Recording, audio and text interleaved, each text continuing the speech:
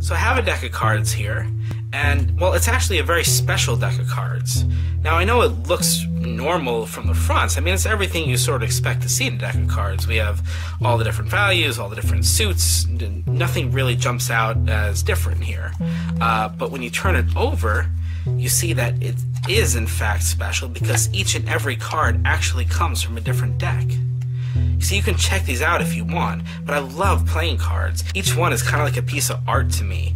All the intricate details and designs that go into each card, they're all so unique to me.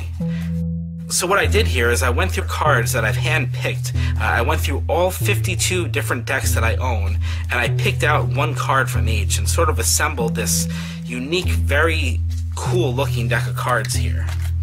So, we have a wide variety of selections on the backs, and of course, we have all the values in a deck of cards that you'd expect on the fronts, right?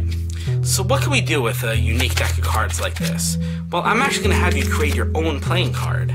But we're going to do this in a very unique way. You see, I don't want you to be influenced. Like, for example, uh, this dragon card might here. That might jump out to you, right? The same way, like, look, if I were to ask you to think of a card right now, odds are you're probably thinking of an ace, a queen, a seven, or a three. They're just common cards that people go to.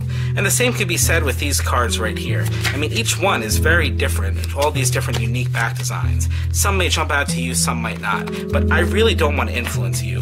So instead, we are going to use dice.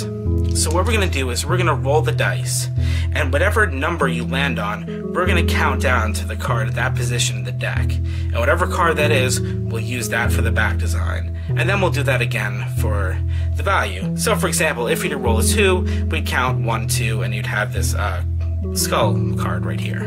Okay? So give the dice a roll, and we have a 6. Now, would you like the sixth card from the top of the deck, or would you like to have the sixth card from the bottom? It's totally up to you. Top? Sure.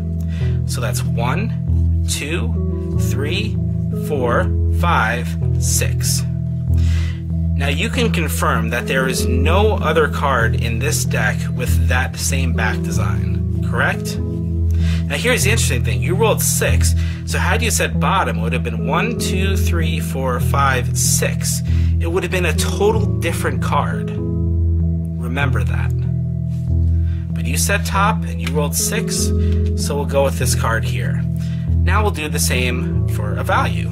So give the dice a roll, and we have an eight. And if you want, you can roll again, but let's say they go for an eight. Now again, would you like the eighth card from the top, or do you want to go for the eighth card from the bottom? Let's say they go for the bottom this time. So that'd be one, two, three, four, five, six, seven, eight. The two of diamonds. And again, you can confirm there is no other two of diamonds in the deck. So had you said top, it would have been one, two, three, four, five, six, seven. The queen of diamonds. Total different card. But today we ended up on the two of diamonds. Now that's interesting. You see, because this envelope has been on the table right here from the very start.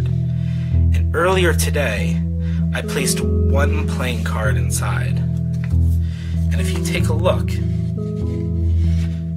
it's actually a perfect match. Nothing else in the envelope. And that is pretty impressive. Alright, I know what you're thinking. Maybe I got lucky, right? I mean, the odds are only 1 in 52. But you also ended up on the two of diamonds. See, that's the crazy part. The odds of me getting the back right, that, you know, it could happen. I may have just gotten lucky.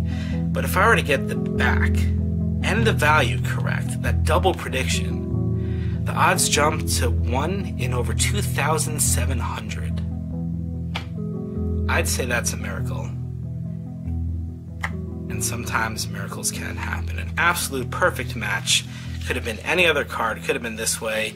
You chose the two, you chose the design, and that, my friends, is fortuity.